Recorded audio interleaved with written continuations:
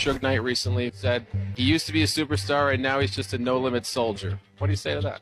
And he used to be a CEO, now he's just an inmate. That tells you a lot of. I'm disappointed in that because if it weren't for me, you'd still be in prison. Someone 28 years in prison for running over two men and killing one in a Compton parking lot back in 2015.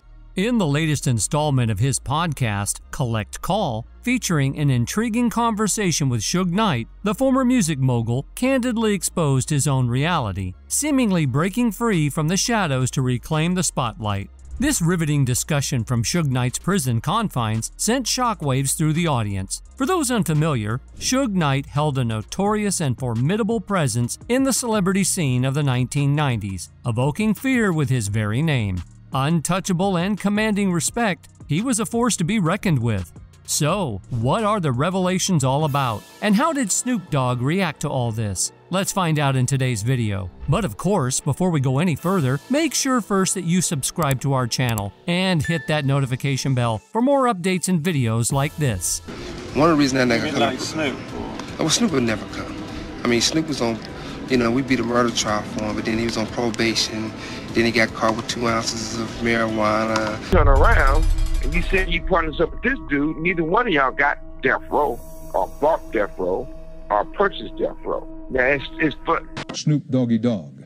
A judge in Los Angeles refused today to drop murder charges against him. Notably, Suge Knight harbored a long standing resentment towards Snoop Dogg, a fellow celebrity, and witnessing Snoop's external success fueled envy within him. Suge Knight, instrumental in aiding Snoop during a pivotal 1990s trial that spared the latter from a substantial prison sentence, felt overlooked and unappreciated. During this eye opening podcast episode, the imprisoned producer made a startling revelation about Snoop Dogg, unearthing information that could potentially land Snoop in a situation mirroring Suge's own incarceration. The revelations made in this candid discussion add a layer of complexity to the relationship between these two iconic figures from the 1990s hip hop scene. Suge Knight, a prominent figure in the music industry for an extended period, co founded Death Row Records, contributing to the release of iconic tracks. However, his ascent wasn't propelled by musical prowess. Rather, he was known for a confrontational and sometimes aggressive approach to achieve his objectives. This demeanor garnered him both enemies and legal troubles, culminating in a 28 year prison sentence. Someone 28 years in prison for running over two men and killing one in a Compton parking lot back in 2015. Life behind bars for Suge Knight is rife with drama and tension. Snoop Dogg, a fellow figure from the hip hop scene, holds a grim outlook on Suge's future in prison. Suge Knight's extensive legal history, dating back to the 1990s, includes convictions ranging from traffic violations to assault, substance possession, and domestic maltreatment. Despite adopting the moniker Suge Bear, in his youth, shedding the bear component, his life took a dark turn, particularly in early 2015. In a bizarre incident related to the filming of the NWA biopic Straight Outta Compton, Suge Knight appeared on set on January 29, 2015. The reasons behind his presence remain unclear, with speculation suggesting concerns about his portrayal in the film and potential financial compensation for the use of his likeness. This incident, among others, further deepened Suge Knight's legal troubles, contributing to the complex narrative of his tumultuous life. Presently, Suge Knight holds a cache of compromising information concerning his long standing rival Snoop Dogg. Positioned as a potential revealer of how the rapper managed to evade legal consequences in a case dating back three decades, Suge is poised to disclose the undisclosed intricacies of Snoop's 1996 legal entanglement. While the details of Snoop's alleged crime may be widely known, Knight emerges as a bearer of additional intriguing facts. Dispelling any lingering doubts about the rapper's innocence, Suge asserts the pivotal role of bribery and manipulation of authorities in securing Snoop Dogg's acquittal. Through this revelation, he aims to shine a light on the clandestine maneuvers that ensured Snoop's departure from the courtroom as a free man. We, the jury in above entitled action, find the defendant, Calvin Broadus, not guilty of the crime of murder in the first degree. Meanwhile, Suge contended that law enforcement had overlooked a pivotal clue in Snoop's criminal case. According to him, Snoop should have faced a hefty 20 year prison sentence, and Suge spent a staggering $6 million throughout the trial to ensure Snoop didn't receive a life sentence. Witnesses were brought in to testify against Snoop, and Suge asserted that the rapper had committed fraud alongside Michael Harris, a claim to be explored shortly. Suge urged viewers to subscribe to the channel and enabled post notifications for upcoming celebrity videos similar to these. Additionally, he retracted his previous statements about personally saving Snoop Dogg from a potential life sentence, now asserting that Snoop would still be behind bars if not for his intervention. Adding fuel to the fire, Suge disclosed spending an astonishing $6 million to address various issues related to Snoop's cases, including thwarting a blackmail attempt within Snoop's inner circle and consulting with a private investigator to clarify matters.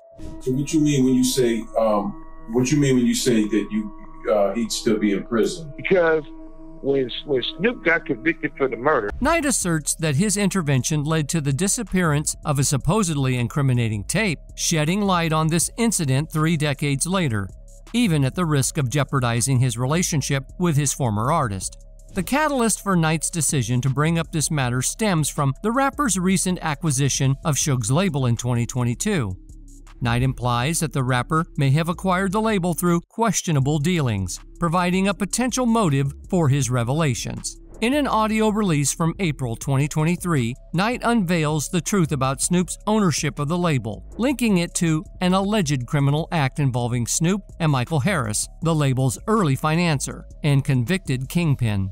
This revelation adds a layer of complexity to the ongoing narrative surrounding the business dealings and legal entanglements within the music industry, particularly concerning two influential figures like Suge Knight and Snoop Dogg.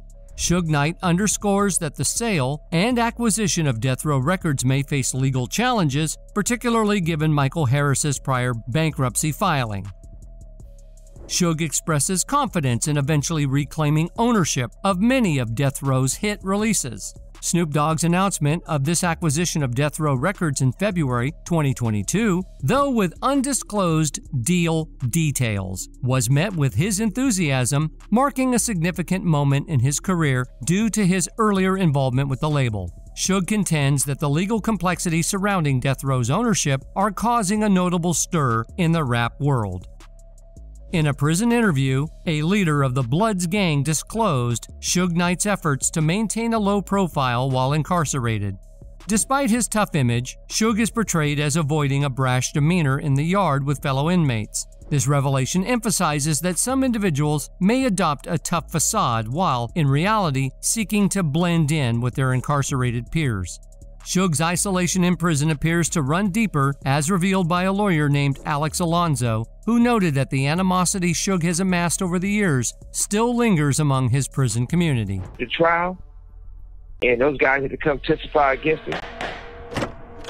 It was a hundred po- it was a hundred Pirus and Bloods out there standing there from that courtroom. No dude had to walk past. It's truly remarkable to ponder the potential trajectory of Suge Knight's career. As the mastermind behind the empire he rightfully constructed, his own ego proved to be the downfall that led to nearly 30 years of incarceration. The blame for his predicament falls squarely on his shoulders. The irony is palpable when considering his envy towards Snoop Dogg, someone he had significantly assisted in his career, only to see his entire label taken away. Knight harbored genuine skepticism about Snoop's true role as the label's shot caller and accused Michael Harris of deceiving the public by asserting that Snoop had a partner. According to Knight, this partnership amounted to bankruptcy fraud. Snoop Dogg, when questioned about Suge's role in Death Row Records, displayed a noticeable reaction, indicating a sensitivity to the topic at hand. These convoluted dynamics between these influential figures in the music industry further add a layer of intrigue to the unfolding saga of Death Row Records. Went to play ball. He got some bread. He destroyed the tape. In the familiar narrative, Snoop Dogg faced a first degree crime charge after an incident where his bodyguard, McKinley Lee, shot a member of a rival gang named Philip. However, Knight introduces an alternate version, challenging the established facts. Leveraging his influential connections, Suge orchestrated efforts to suppress the truth in the aftermath of the incident. This revelation also unveils the LAPD's mishandling of the case, with critical evidence such as Philip's clothing, bullets, and shell casings inadvertently destroyed. Despite the case's complexity, the jury, after six days of deliberation, rendered a verdict of not guilty on all charges against Snoop and his bodyguard, providing a sense of relief for the defendants. This alternative perspective adds layers to the narrative, highlighting the intricate interplay between legal proceedings, influential figures, and the justice system's potential shortcomings. Contrary to the perception that the resolution of the incident marked the conclusion of the story, Suge Knight's recent claims reveal that he found himself entangled in tying up loose ends even after the apparent settling of the dust. The quest for justice took an unexpected turn when the victim's family initiated a $25 million wrongful lawsuit against Snoop. In a clandestine twist of events, the lawsuit was settled out of court in August 1996 for an undisclosed amount. Meanwhile, even today, there are people who hold a grudge against him. Though it looks like Suge Knight is doing everything he can to keep a low profile and stay out of trouble during his time in the clink, he sure has a lot to say about people outside. Could his words ignite trouble on Snoop Dogg and others outside the cell? Well, we can only wait to find out. That's all for today. We hope you enjoyed that video, and if you did, make sure to hit like, subscribe, and hit that notification bell for more videos like this.